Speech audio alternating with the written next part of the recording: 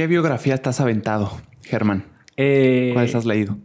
Bueno, desde que empecé la cuenta, eh, me leí la de Steve Jobs eh, y la de Da Vinci, que las tengo súper presentes porque el estilo de Walter Isaacson me encantó. He visto que hay gente que, que no le gusta tanto, pero para mí, para mí fue una revelación. Me gusta mucho el estilo en el cual intenta mantener eh, como una neutralidad, mostrando las cosas buenas del personaje y las cosas no tan positivas. Ah. Y eso es chévere por precisamente lo que estábamos hablando, porque te da una visión. Toda persona es un ejemplo y es un ejemplo por lo bueno y por lo malo. Sí, mira, esto bueno tú lo puedes replicar, esto malo déjalo a un lado. Sí, claro. Entonces, y bueno, ahí la de Walter, la de Walter Isaacson, la de Steve Jobs en especial fue, bueno, un reto impresionante eh, porque estaba haciendo por primera vez este tema de leerme eh, en 30 días 30 libros. Y me gasté casi las 24 horas corrido leyéndolo. Ah, eh, pero para mí fue muy enriquecedor. Steve Jobs como personaje me pareció fabuloso. Eh, en especial, no sé si has escuchado esta frase de para los, los genios locos, los que impulsan la raza humana adelante. Así más o menos termina la frase. Y, y, a mí esa sensación realmente me quedó de la biografía, alguien que se atreve a hacer cosas diferentes, que no necesariamente tiene todas las circunstancias ya ganadas, que a veces últimamente se tiene esa idea que todos los genios creativos son porque eh, ya venían de una familia rica, que, ya, que puede ser el caso en algunas ocasiones, pero al menos lo que deja entrever esta biografía no es el caso. Y, de Steve Jobs. Sí, sí, sí. Y es maravilloso porque yo creo que Steve Jobs es una persona, hay, hay, varias, pero es una de estas personas que definió el mundo en el que vivimos ahora. Eh, no totalmente, pero sí hay ciertas cosas de las que Apple ha mandado la parada en, en muchas cosas, ¿sí? sí. En, en, muchos elementos.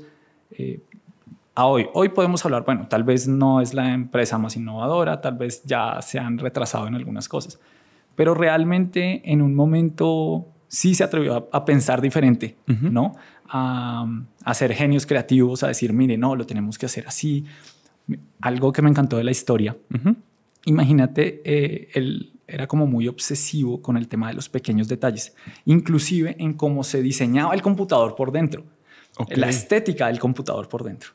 Y eh, él, eh, en la biografía lo relatan de una manera bonita y es cuando estaba pequeño, eh, el papá iba como a pintar una cerca. Y entonces para Steve es como muy raro porque el papá también pintaba la parte de la cerca que no se veía. ¿sí? Y entonces el papá le dice como los detalles son los detalles, véanlos quien los vaya a ver. ¿sí? Y no es porque eh, 60, 100 personas vayan a ver esto, es porque, es porque tú estás haciendo bien este trabajo. Y que tú te fijes en esos detalles es que estás haciendo bien el trabajo. Y entonces Walter Isaacson, con, con mucha eh, claridad a mí me parece, después eh, dice, seguramente esto fue lo que hizo que Steve Jobs en, se fijara en la, en la disposición de las placas de los computadores, que si se veía bonito así, que si se veía armónico, que tom, cómo debía estar, porque él estaba pensando, voy a hacer lo mejor, con los mejores detalles, no necesariamente, yo, yo no sé, yo nunca he abierto un computador. no, ni yo. Pero yo creo que eso dice algo como, como el mindset, como la, la mentalidad que tú tienes al hacer las cosas. ¿Sí? Y mira que eso, eso es una de las cosas que me gustó mucho y ahora intento replicarlo. ¿sí? En Ajá. mi vida, de cierta forma, oye, tal vez las personas no van a ver esto que yo estoy haciendo en mi vida, no lo van a ver en los videos.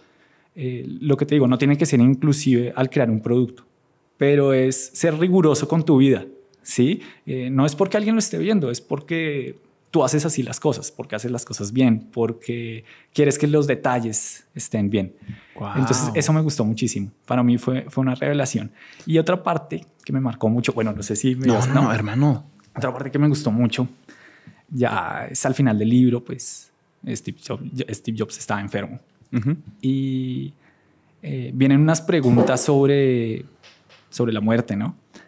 Eh, un poco conmovedor y Walter Isaacson le está preguntando como, bueno, ¿y usted qué piensa después de la muerte? ¿Qué pasa?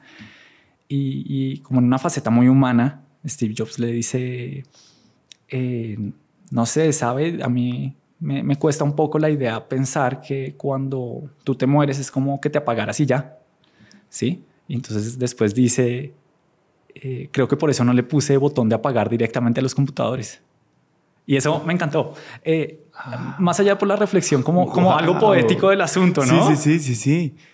Me pareció muy Wow. bonito. Eh, y ya, bueno, es en las últimas páginas, pues tú ya, ya has pasado todo el viaje creativo, eh, todas las experiencias de vida que tuvo.